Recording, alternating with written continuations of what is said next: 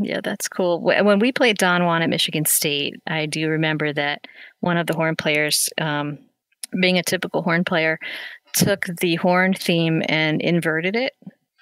And so when Leon looked back and gave us the cue, we played it upside down. Uh huh. Yeah. Nobody really knew what was going on at the, the beginning, but it was funny. Yeah. See, there are band geeks and then there are horn players. Yeah. Yeah. Exactly. Kind of the pranksters in the back. Don't tell the tuba players that they're not. Well, I think sometimes we're just there to babysit the low brass and the trumpets, but oops, was that out loud?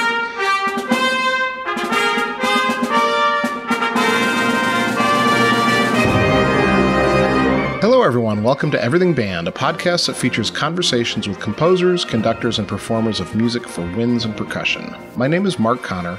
I'm a composer, and this is episode 52. My guest for this episode is Jenny Neff. Before we begin, I'd like to thank all of you for listening. I appreciate your time, and I hope that you are finding value from these interviews. I rely on word of mouth and social media to bring the show to new listeners. If you think you know one or two people who might find these interviews useful, please let them know about it. You can also help by following me and sharing posts on Facebook, Instagram, Twitter, and YouTube.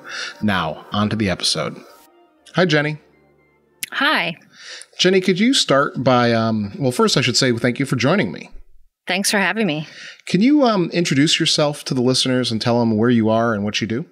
Sure. I'm Jenny Neff, and I'm outside of Philadelphia, and I am in my 25th year of public school teaching as a middle school band director and I've taught at all different levels. Um, the past 15 have been in middle school. And I also recently took on the interim director of Master of Music and Summer Music Studies programs at UArts, which is in Philadelphia.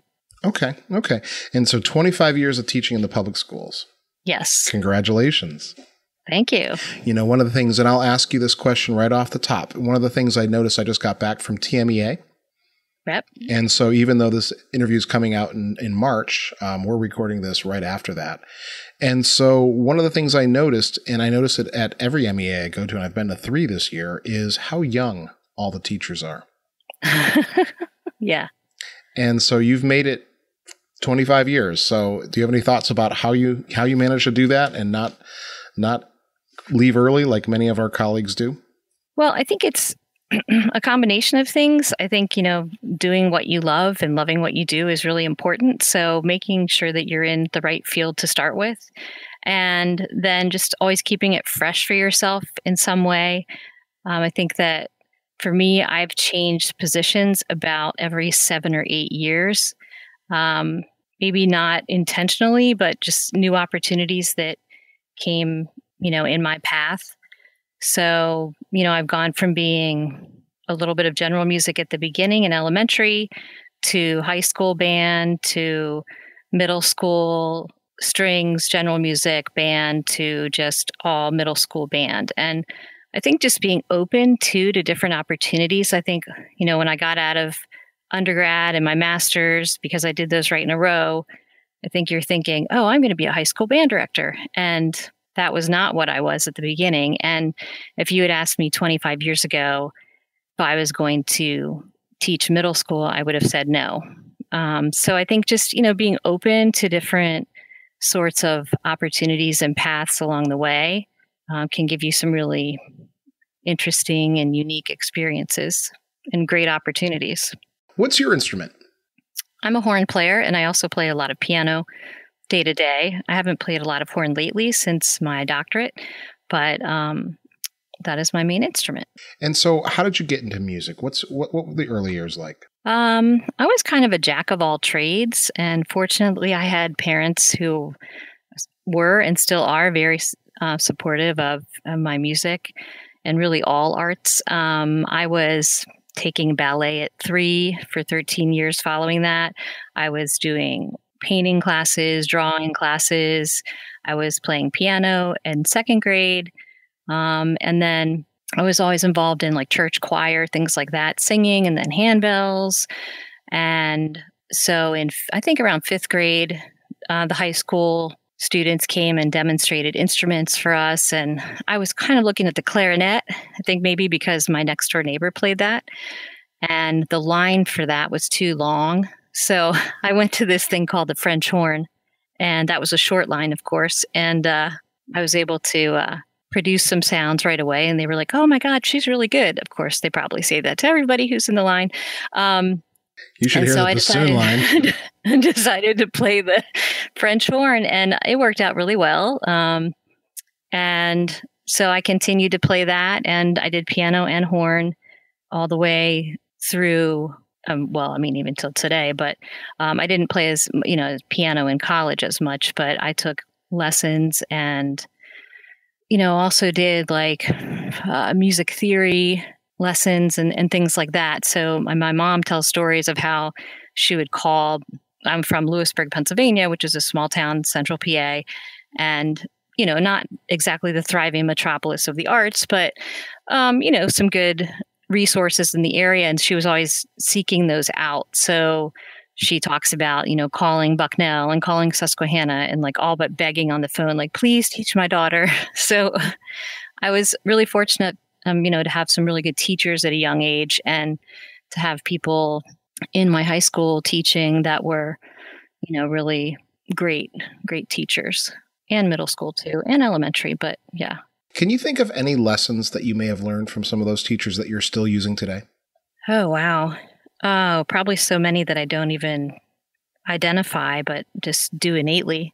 Um, wow. I mean, I think just the discipline and rapport that was built at the same time, you know, discipline for the craft and the art form, yet always having that rapport with your students.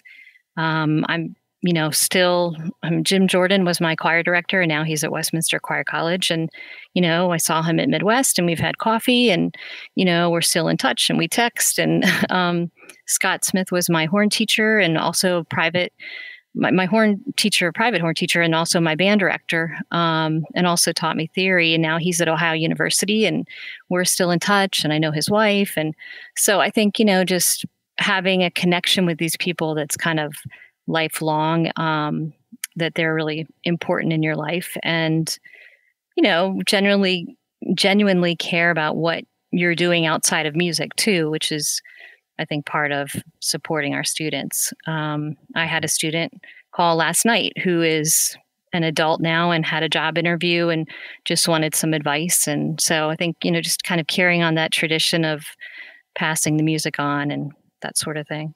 Mm-hmm. Yep. So, do you have any specific memories or specific moments in high school um, or even before where you knew that you were going to be a professional musician or you knew you were going to be a teacher?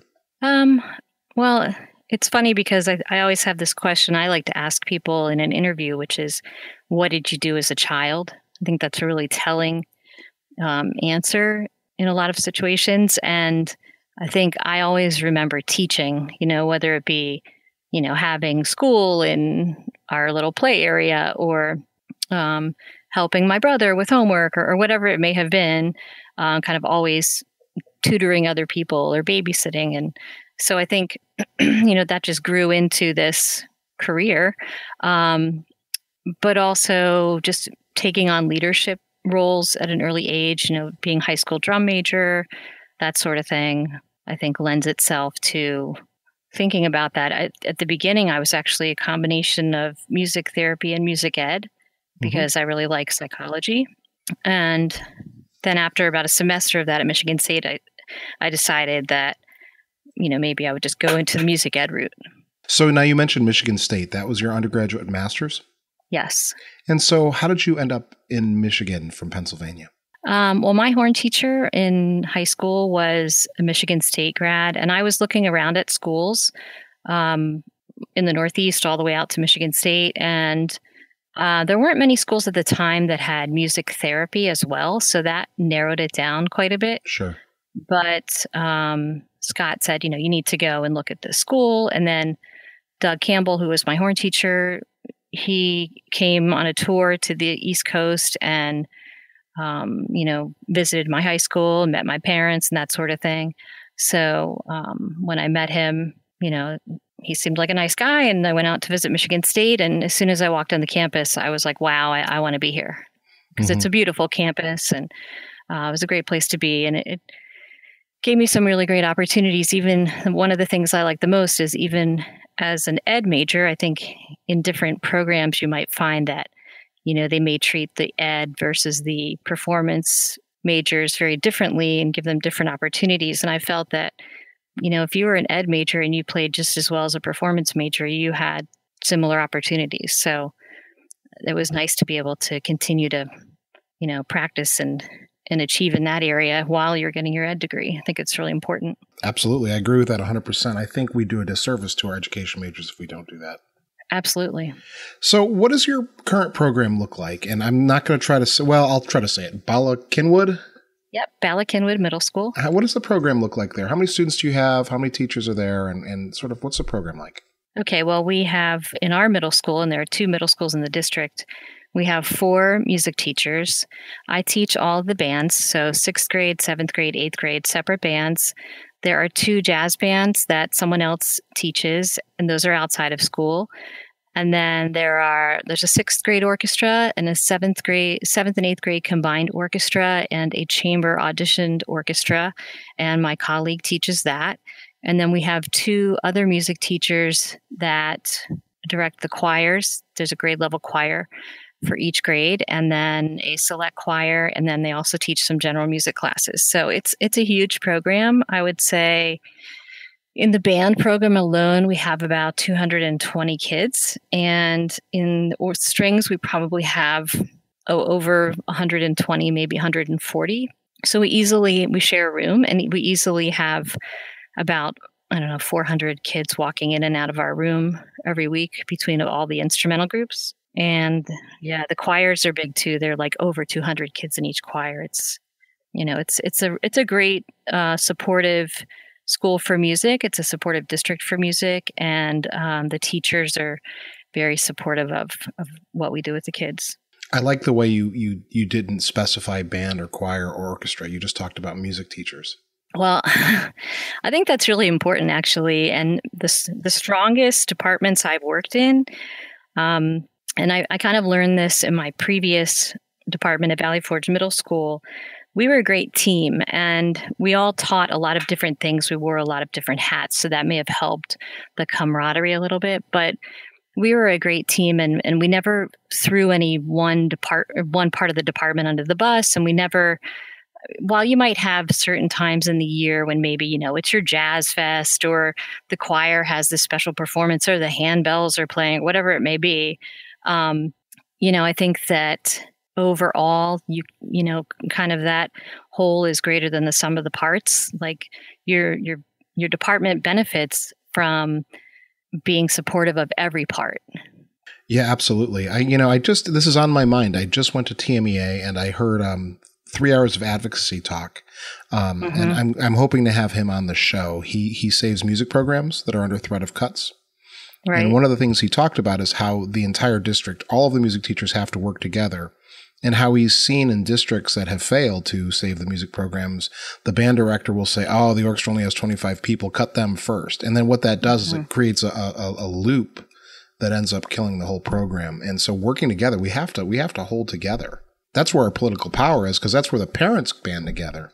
Right. And and actually sadly, I mean, doing some advocacy things for PMEA earlier in earlier years, and, and kind of continuing advocacy all the time because that's what we need to do. But um, sometimes I get pinpointed for that because maybe I know a little too much. I don't know, um, for better or worse. But um, you know, I've been in probably about three situations where, whether on the front line or kind of you know in the background, we had to, um, you know, save our program or help educate parents. And I think it is important that all of your departments and sometimes that might be all of your special areas not just music and art but phys ed and, and everything else that you go with one message because yeah yep. if you're all saying something different and that goes the same for if you have 10 parents at a meeting who are just irate you know you really need a lead person there to say like this is our one message because if you don't have that your board members are liable to say well i'm you know, they don't know what they're talking about. Nobody can agree on anything, and it really doesn't get you anywhere. So you have an exceptional program, it sounds like, and um, as I mentioned, I like the way you're working together. But can you talk to me about how the program got to be that size? Was it that way when you came in? I came in there about nine years ago, and it was that big. It it's been very large for a long time. Um, our assistant principal, Gail Brown, she was band and orchestra at one time or another. So I think she always understood the intricacies of the schedule. And a lot of times we really have to think out of the box with scheduling and kind of almost hand schedule each kid. Now we went to pull out lessons this year, which has been beneficial to the students, um, at least as far as you know their music training goes. So maybe it's not as we don't have to be as customized for individual kids, but I think it is a lot of thinking out of the box. And I think we have a really strong community that supports the arts and kind of demands that level of excellence, which is, you know, it can be stressful when you're working there, but if you're doing your job well, it's it's a beautiful place to be. Um, you know, we have some Philadelphia Orchestra members who are parents and and things like that, and so I think people who really value education and value the arts and expect that you know, to be achieved at a high level. Mm-hmm, sure. And so, what do you think? What do you attribute your success to? What What do you think you do that that is is special to you?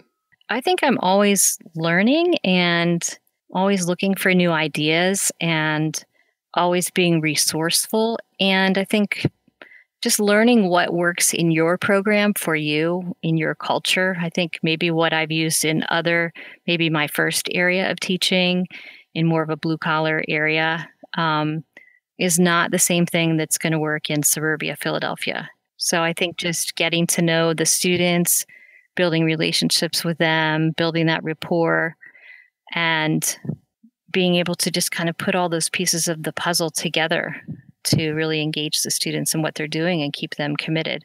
I think mm-hmm. too in middle school, I, you know, just the past 15 years I've been in middle school. And I think that's really I call middle school kids the survivors. You know, they come in as they come in being babysat and they come they come in being babysat and they leave as babysitters. And there's quite a transition going on, you know, with them in so many areas during that time. And I think they're just looking for a place to belong and kind of finding their niche in life. And for mm-hmm. our kids, a lot of times it is in our ensembles. Yeah. I love junior high kids. That's my favorite age. Yeah, they're fun. They're a little quirky sometimes, but it, it's it's fun. Quirky's a kind way to put it. well, and I think too, you've had kids you know you have kids that are really into it and then you have kids who might not be in so might not be so into it but you can never rule out that they might be into it later because maybe they're just going through this developmental craziness. Um, and i've seen kids who barely pick their instrument up and then a couple years later they just kind of like cross over that hump or whatever they're dealing with and um, you know they're they're really into it yeah, yeah, no, I, I, I think so. I, uh, I actually didn't play in seventh and eighth grade, and I picked my trumpet back up in ninth grade. Oh, yeah. So, so I never, you, I never actually, even. were you going to use the Q word? You quit. I quit. I quit. Our, we had a family move in sixth grade. We oh we moved, gosh. and when we moved to a new school, it was overwhelming to me, and um, mm-hmm. uh, the band just became too much and too many different things, and it just didn't work out. I changed schools again, and just um, yeah, I just didn't go back to it until high school. And uh, yeah, you just never know. Yeah. Well, when I taught high school, I had some kids in this piano class. One of the first questions I would always ask them is, Why are you in this class? Because it was an elective. And a lot of times they weren't music kids that I'd see in other ensembles. And it was kind of sad. They'd say, like, because all my friends have a talent and I feel like I don't, you know, and I kind of feel like maybe those kids were involved in something earlier and just you know, got sucked into the whole social scene and said like, "Oh, I don't want to do it anymore," or just, you know, they they didn't have an adult guiding them to say like, "No, you really should try to stick it out," or that yeah. sort of thing. Yeah, well, I mean, that's a telling answer. Um, you know, that search for acceptance at that that age. Mm-hmm. That's yeah. what it's all about, right? Yeah, and that's the best part of band, at least in my memories. Right. Yeah, and I think that I think as a teacher you have to be able to acknowledge that that not everybody's there for the high level musicality. You know, that's that's a great benefit for those kids, but and you do have kids who are there for that, but there are kids that are just there for social reasons and it's important to be able to reach everybody because they might be the kid that's sitting on the symphony board or making decisions about school budgets later on. Mm-hmm. Yeah, sure. I teach music appreciation, and I have kids that sit in there who just are passing the time to get their credits and right. some who are, um, you know, on the edge of their seats. Well, few of those, but I teach them equally, right? They're they're the same right. to me, and so, yeah. So Jenny, I first met you at Midwest. You were presenting with Scott Watson on Skype sessions with composers, and one of the questions I often ask is, "What's the value of bringing composers into your program?" So you must have some thoughts about this. Well, actually, I've brought in a lot of guest artists, but I had never brought a composer in, and certainly not via Skype like like we did with Scott. Um, but it was really great for the kids to be able to meet a live composer. You know, I think growing up, we think of, especially for me as a horn player, sitting in orchestra and like, who's this Beethoven guy, you know, or whatever. like, you know, as a kid, you don't really even get to think of a face with a name unless it's in some history book. And I thought it was you know, great opportunity for our kids to meet someone who wrote the music. And in the if our end goal is to have the kids and the ensembles communicate an idea to the audience, who better to ask about that idea than the composer, you know, him or herself. Mm-hmm. Sure. So and, and, Scott and I were talking about this one day. We couldn't even remember really how we met, but I think I had approached him at a conference and said, "Hey, we're we're going to play one of your pieces," and then we were talking about maybe him visiting because he's only about an hour from our school. And then it ended up that we decided to Skype because of the schedule. And then that went really well. And I said to him, Hey, would you ever want to write an article or present a session on this? And he was like, Yeah, we could do a session. So we just kind of started brainstorming. But, you know, the kids really liked meeting with him and asking questions, and they took it very seriously. Kids who I would never see mark their music before were like feverishly writing things down. So um, that was kind of fun to see. And, and, they took a little extra time in preparing their music because it was kind of like, oh, we're having company over, um, and and then they they took that to heart, you know, and really worked on the parts that he said he wanted to see improvements in and he was very specific. And it was also nice you know i think when you like when you go to any adjudication and maybe you've told the kids something a hundred times but someone else says it and it's like oh my god the voice of god is spoken you know? It's like all of a sudden they believe it. So um i think that was you know just the extra extra oomph they needed to hit those points home yeah, and so that was a wonderful session. Do you have any tips for maybe some listeners who might be thinking about doing a Skype session with someone? Um, well, I think you know the technology is really important. I did a Skype session with a band after that, and we had some technical difficulties with um, the the speakers we were using, um, and so or the microphone, really, I guess it was, and so I think just making sure your technology's lined up, and I know Scott was really good with that, lining up all the different tips, and I think they have that available on the Midwest um, website now if people want to download it. And I think also, I don't know what you've experienced if you've Skyped with bands, but I think it really helped having the kids come up with questions beforehand because we didn't waste time kind of like who's going to ask the next question or you don't really know what they're going to say you could kind of preview those. Um, so i think i think that was really fun and the kids really enjoyed it. I think they got a lot out of it. Um, like i said they, they like having something that's kind of new and they feel i think between that and maybe i've had guest artists come in on like brass and saxophone and clarinet and um, they you know get that little extra attention which is is good i think and so, how about commissions? Have you done any? You know what? I have not. That's not an, an area I've gone into. And hearing you guys all talk about that with a lot of composers at Midwest, I was like, hmm, that sounds like an interesting area. Um, and the consortiums that are, you know, to me, a little bit newer for someone who's been around for a long time. Um, I think th- those seem like really neat opportunities especially if you're looking at like kind of limited funding, I think the consortiums are a really great model to use. Sure. I'm just going to plug that for a moment if you don't mind. Um, yeah, absolutely. I worked with a, a group or a, a, nonprofit called Music shoot composers and schools and concert csic composers and schools and concert and what they do is they put composers in touch with schools and vice versa and so for me i did a string orchestra piece and there were five orchestras five groups and it was a $500 buy-in for each group wow and that was it and with that they got three skype sessions with me each so i did 15 skype sessions Wow, that's and great. So yeah, yeah. So it's a great opportunity to kind of work with a composer and and it's good for the composer because we like to get paid and it's good for the schools because it's a relatively um, inexpensive buy-in and the larger the consortium typically the lower the fees. So yeah, just really plug that idea. Yeah, that's great. I think anytime you can bring in something that's a little novel or different for the kids. Um, I know we had a local um, at uh, my last school, we had the Criterion's jazz band come in from West Chester, and my student teacher at the time was in the group, and it was kind of fun. The one of the days we had them come in, they we were playing a chart of ours, and one by one they'd go in and kind of stand next to a certain part, like say the first trumpet, their first trumpet would go and like replace our first trumpet. And it was kind of fun because by the end, it was the West Chester Criterions and not our jazz band. But the kids got to hear the chart they'd been playing played by college kids. So just something like that was kind of fun and different. Oh yeah, that's really cool. You mentioned you had a student teacher. How many have you had over the years? A lot?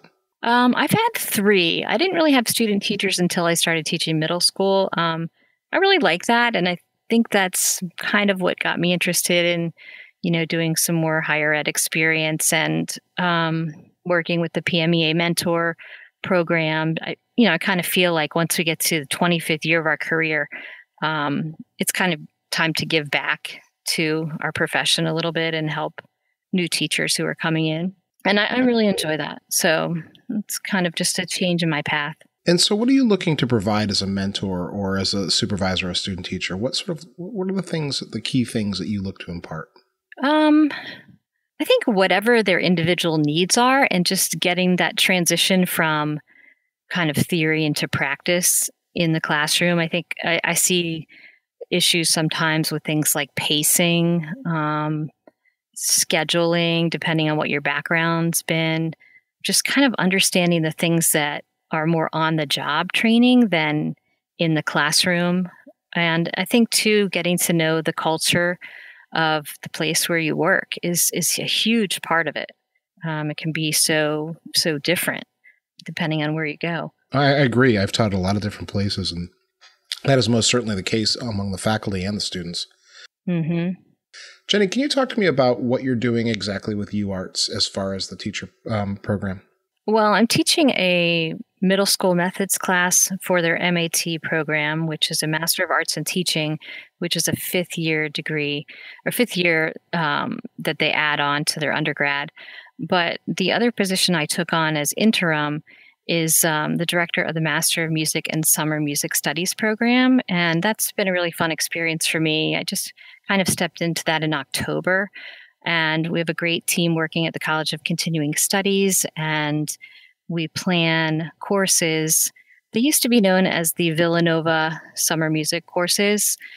And then, about, I think, about three years ago, UArts kind of overtook that for accreditation purposes, but we still have a campus at Villanova. And then we also have Ursinus College and UArts. And then we also teach at Scott Watson's high school in his district in Parkland. And so we offer courses for the MM and then also courses, you know, we have matriculated and non matriculated courses just for anyone who would want to go back and take a course, maybe in instrument repair or in some sort of band repertoire reading, or we have different levels of Orff. I think we're in our 10th year of Orff.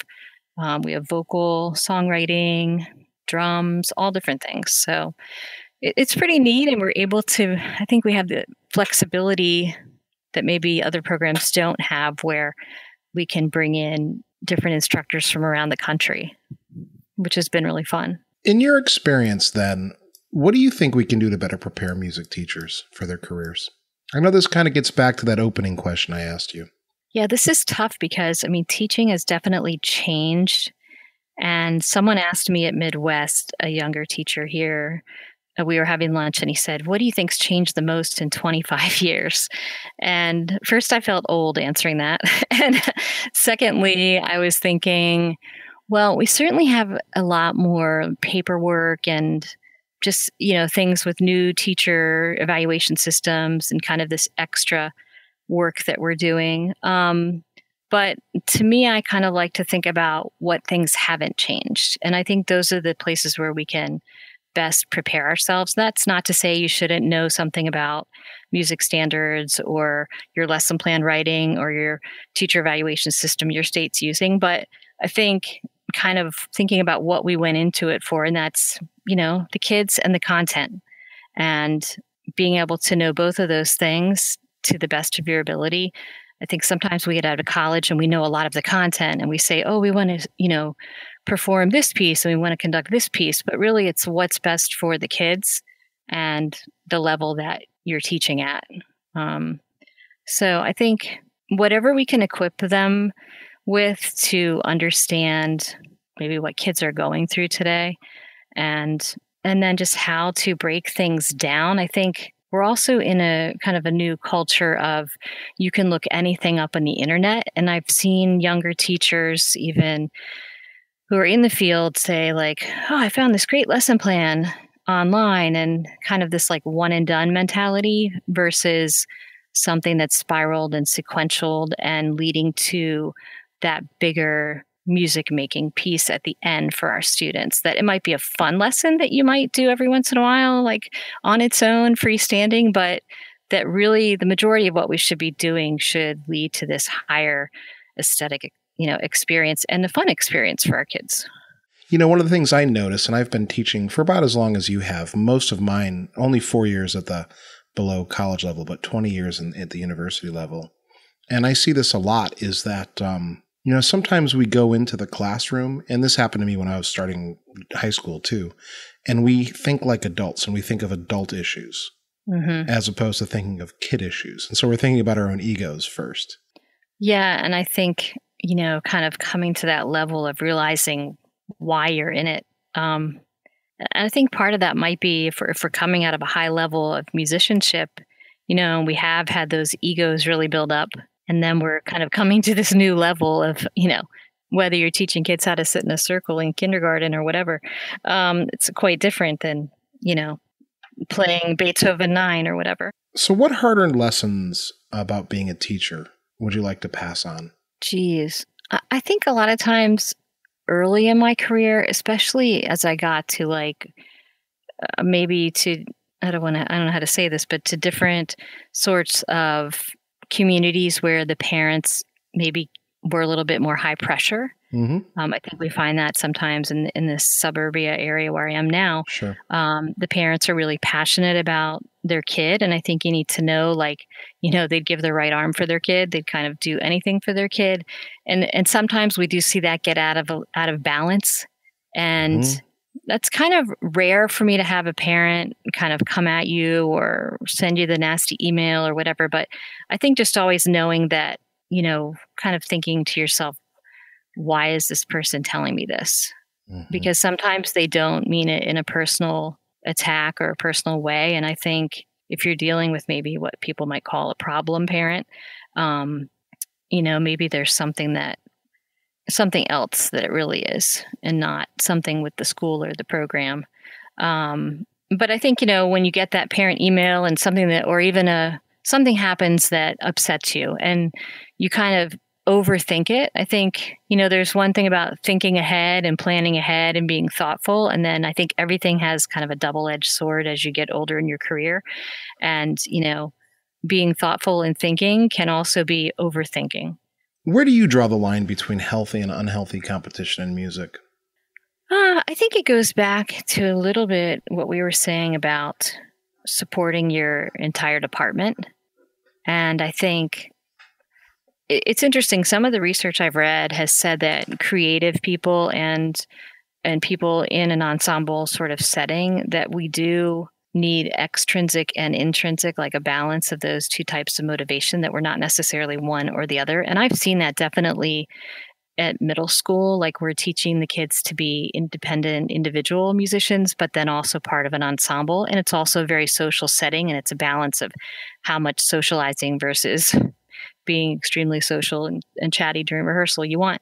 But I think just trying to figure out what makes the group their best without losing sight of other things around them. I, I mean, I've had jazz bands that I remember one year we were going to competitions and they were very good and um, we were even played at like an Eastern Division conference and that sort of thing. Like, you know, they were getting a lot of kudos, they were getting a lot of trophies and and we went to one of these like, you know, amusement park things at the end of the year and I was kind of embarrassed because we were just sweeping some awards and um, I decided the next year that I didn't really want to do that. That I would rather go have them do something like give back to the community. And so we went and played at a veterans hospital at like a home that they had. And I didn't really know how the kids would take it because they hadn't performed anything like that. And they loved it. Like I actually had them fill out this little reflection thing at the end and they were saying like this is the best field trip we've ever had. You know, it was very refreshing. So that kind of taught me like we need to kind of think about not always trophy, trophy, trophy. Certainly not to sacrifice the rest of the department and the program, but just to always keep the kids kind of in line with like what else is going on in the world other than just we're number one or you know that sort of thing yeah yeah i used to um, take kids on those trips to the amusement park once a year but i didn't do it for the competition i did it for the performance but i did it really to build camaraderie. You know, it was kind of like a reward kind of deal. Yeah. And I know some places who've just kind of created their own um, adjudication at school, and then they'll just go to the amusement park for fun. Like, just as you know, if you don't want to, if you maybe your program's in a position where you don't want to spend a lot of money or or something like that too. Yeah, and you know, it's funny to watch the. I, I just have me reflecting on like watching my band react to the awards when they would win or they would lose, mm-hmm, even though mm-hmm. I never emphasized that in the classroom. Yeah. Um, yeah, it's interesting to think about that, and you're right. Probably should separate it from that. I was just invited to do uh, to be a clinician at um, uh, an unfestival here in Missouri. Do you have those in Pennsylvania? Unfestival? No, an that's unfestival. Yeah, so it's all we're doing is we're giving comments and we're doing clinics, but we're not oh. doing any judging. There's no scores. Huh. It's kind of cool. Yeah, and so it's it's a chance to get together and have the the educational aspect without the the competition aspect. Hmm. That's interesting. And yet, and yet, you know, like we're talking about the balance. Yet, I've had kids come back who maybe are college music educator or music ed majors and saying, "Oh, the best time was in middle school. And we did all these competitions." You know, so it just it just really kind of depends what they're going through too. Well, and DCI is very popular. We can't discount the fact that some kids and some programs thrive on that. Yeah, that's true. And so, I mean, I think there's there's balance to be had. I think. yeah, I think definitely. I think there's good things in in all of it. Yep. So speaking of balance and teacher issues, how do you mm-hmm. find a work life balance? um, I would say, I mean, I work really hard and I, I also feel that it's important to play really hard. And so I think just, although I think that, you know, we have times when things are pretty intense, like, you know, even now for me, doing some other opportunities, but I know that maybe those won't continue long term, that that's just for an interim period um, or maybe a transition period yeah, I try to schedule in things, schedule travel, schedule time with friends. And although that seems a little inauthentic at times, um, I think we kind of have to do it in in the world we're living in. Otherwise, you know, with technology, um, we could almost like work around the clock, and, and we certainly don't want to do that. Um, I think you know the people who are having work life balance issues are, are not those who aren't doing anything. Um, I think it's just, you know, trying to conscious of scheduling in and then and scheduling in your your downtime but also just finding those blocks of time. I know for me at the beginning of this year I kind of mapped out a lot of like my months and different professional development things I was doing and conferences and just tried to map out like what chunk of time do I need and you know even something as getting as nitty gritty as like my calendar on my phone. I've tried to go with the phone calendar and that works pretty well, but I still am like a paper girl. I need like the hard copy paper calendar more to get a big picture for myself uh, to see kind of like I do need free weekends here and there, or I need chunks of time um, to do some of the projects or not, just to relax. And I think time also to kind of celebrate when you have a lot of these really cool things going on. I think it's time to celebrate and, and relax. And I think that creative people also need time to recharge. Um, the other thing you were asking about um, success and things you would tell new teachers. And I think I read an article recently about successful endeavors versus significant endeavors. And I think as we get older, I think at the beginning you're saying, oh, I got to do all these things to build my resume and that sort of thing. And you want to be successful, you want to be good at what you do. But I think as we get a little more into the um, profession, we start thinking about like what what's significant to me. So, what are the challenges facing music education as we move forward to the 21st century? And how do we oh, wow. address some of those? Oh, how long do we have? That's what everyone says. Oh, ah. Uh, I think what, you know, I think what we do in our profession and in music education is is part of what makes us human, right? I think we always want that. Um, I think that kids are being pulled at in a lot of different directions, whether that be social media, um, STEM versus STEAM, you know, all of these initiatives coming at them that may take them away from who they are. I mean, it might also help them figure out who they are, but I think I, I think especially at like middle school where I see these, you know, younger kids who don't know what they want to be yet, and that's okay, and yet they might be kind of forced into different tracks. Um, I think it's important for them to be able to really figure out who they are for a while before they have to start limiting their options. Um, and and I think yeah, we do see we do see people being asked to do a lot more in the teaching field and it's it's stressful. It's definitely changed i think even in the past five years. Um, the things that we're being asked to do the responsibilities the accountability and, and, not that we don't want to be held accountable but just you know a lot more in paperwork and things like that um, that it takes you away from from the teaching you know um, and I, I think it's hard to it's it's hard to do it. And i think you need to have the stamina as a teacher and you need to have the support. I, I think that everybody's asked being asked to do more with less. And you know whether that be time or money or support or people being spread too thin i think you know we need to find a way to survive in it. Um, i think also our even our administrators are being asked to do more and they're being pulled in many different directions. So i, I don't so much worry about the first year teacher coming in because they probably have a mentor or they're close enough to their undergrad or their graduate program or some sort of education training that they have support connections. But I do worry about um, the second or third or fifth year teacher who might need a little extra support or a teacher who's changed uh, content areas. Maybe they're teaching you know, orchestra instead of band, or maybe now they're really a band person and they've been asked to teach choir or something like that because they're being asked to do more with less. I do worry about the stress that we put on our teachers there. And so I think, you know, like for our state, we have a mentor program. I think that's going to be increasingly important for for all of our teachers. Yeah, that's a good answer. So what advice would you give your 18-year-old self?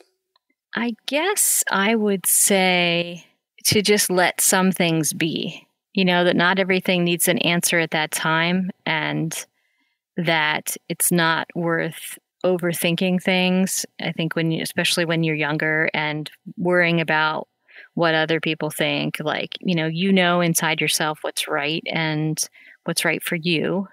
And you need to listen to that. And I think always as a younger person, being open to other people's suggestions to never say never. I mean, if I had said said I would never teach middle school, I would not be doing that for the past 15 years and, and loving it. Um, so I think you just never know where life's going to take you, and you just need to be to open to those to those paths, whether they're known or unknown. If you had a chance, what would be the final work for wind ensemble or band or orchestra that you would conduct and why? Well, maybe this is the teacher in me, but I would say, and I've had exposure exposure to a lot of great orchestral and wind ensemble rep, just you know, different groups I played in. Um, I would say a piece that my students enjoy playing. I mean, because I think that when you're standing in front of students that you've taught for a long time, and maybe at middle school, since we've taught from kind of the mechanical to the musical, which is a hard transition to make sometimes.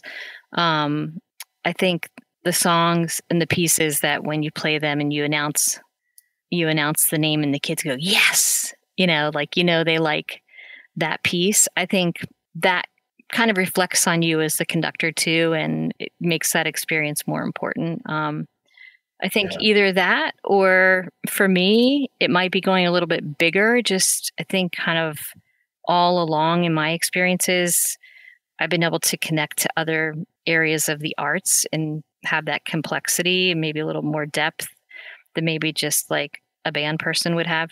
Um, like I, re- I recall, you know, being in the pit for West Side Story and and just seeing everything kind of come together at the end of that first act you know you have the dancing and the singing and the pit and you're just like part of the whole thing and i think for me a lot of times it's experiences like that um, or conducting a string ensemble in front of a castle in austria or whatever it is like it's kind of like wow this is a moment i need to remember this is an experience i need to remember and so i think for me since i've had a lot of great experiences like that under various conductors i think recreating that for my students is something I'd like to give back. Mm-hmm. My guests are getting very good at dodging the question. Oh, good. Am I in that category now? so far, so good. I'm usually pretty good about being persistent. Are you going to give know, me a piece so or not? I don't know. I mean, I'm always like, uh, I'm always a sucker for like a good, like sappy Irish tune from County Derry or something like that, you know? That's like three straight interviews that's come up, that piece. Oh, yes, trifecta. All right, we'll go with that since I love that piece too. or something really big like a Don Juan or something. I don't know. Yeah, I was thinking about that. I think the, the, my answer changes as I listen to guests give their answers too, but I'm, I'm thinking mm-hmm. uh, the marriage of Figaro. Mm, okay. I mean, I, I can't imagine conducting an opera, and I'm intimidated by the very thought of that. Yeah. But wouldn't but once be- again, it's all those different pieces put together. It is kind of like pretty cool to combine all those art forms. Could you imagine what that must be like? Yeah. at the Met. You got to say at the Met, though. No, yeah. no. I would do it in Austria, in Vienna. Oh, yeah, that's true.